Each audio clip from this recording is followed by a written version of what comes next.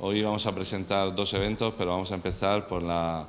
Eh, yo creo que es una de las cosas más importantes que hacemos en Cartagenes y Romanos, que es la batalla por la vida de Cartagenes y Romanos, la donación de sangre, que este año pues será el día 15 de septiembre eh, en el Centro de Salud Cartagena Oeste, de 5 a 9 de la noche, donde espero y deseo que haya un récord de participación porque nunca sabemos cuándo nos va a tocar y ojalá que no sea nunca, pero, pero una gota de sangre que demos es una gota de vida. Pues la verdad es que desde el Ayuntamiento de Cartagena, ya sabéis, cartageneses y romanos es como si fuera cosa nuestra y estamos en todo y apoyamos todo y respaldamos todo.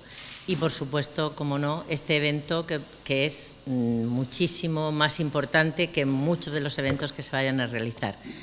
Es muy importante que los cartageneros se conciencien de la importancia de, la donación de sangre, de lo necesario que es esa donación de sangre, de que el ser voluntario para donar sangre, eh, lo que ha dicho antes, una gota de sangre puede salvar vidas y cualquier donación puede salvar vidas también. Un año más iban 16, dar las gracias a Federación de Tropas y Legiones por esta batalla. Esta batalla la ganamos todos. Vamos con esa premisa por delante. Y este año, como dice el cartel, cada gota cuenta.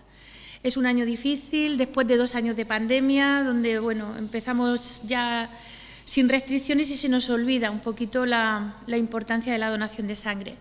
Vamos a estar el jueves 15, como ha dicho nuestro presidente, en el Centro de Salud Cartagena Oeste. Yo simplemente voy a recordar los requisitos.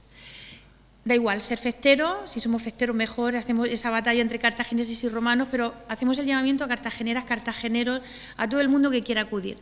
Tener más de 18 años, menos de 65, pesar más de 50 kilos y estar bien de salud. Con eso, pues acudir al Centro de Salud Cartagena Oeste y si tenemos menos de 40 años, independientemente de que donemos sangre, podemos dar un paso más allá, adquirir ese compromiso moral y hacernos donantes de médula ósea.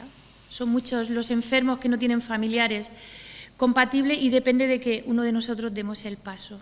Así que yo hago ese llamamiento a cartagineses, romanos, cartageneras, cartageneros, que el día 15 tenemos una cita con la vida.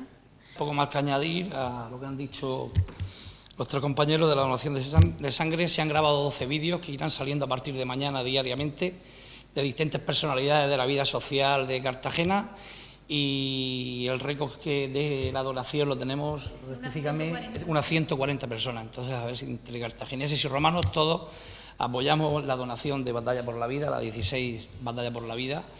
Y nada, invito a toda la ciudadanía, como ha dicho Toño también y la concejala, eh, a que asista al centro, de, al consultorio del barrio La Concepción, que es donde será la, la donación.